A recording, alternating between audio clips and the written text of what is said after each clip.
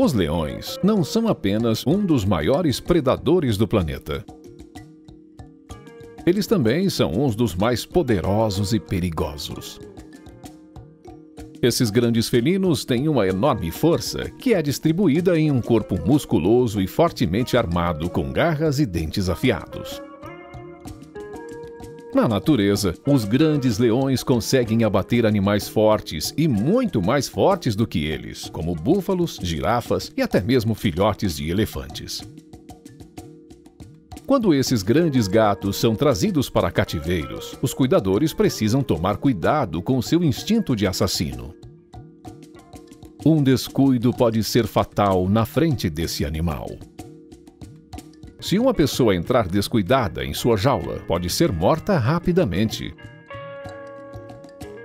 Agora, imagine o que acontece quando um pequeno cão entra na jaula desse poderoso felino. Logo você pensa que ele vai virar refeição, correto? Mas às vezes não é bem assim.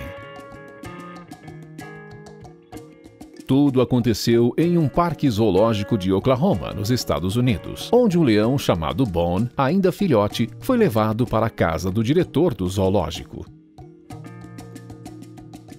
Lá, o leão encontrou as salsichas Milo e Maggie, e desde então eles convivem, brincam, dormem e até comem juntos. Mesmo depois que o leão cresceu e retornou para uma jaula no zoológico, eles mantêm a linda amizade entre um dos felinos mais poderosos do mundo e os pequenos cães. Esse leão só não pode deixar de ser alimentado, ou os dois cachorrinhos irão virar salsicha literalmente na boca do leão. O que você achou dessa linda amizade animal? Comente!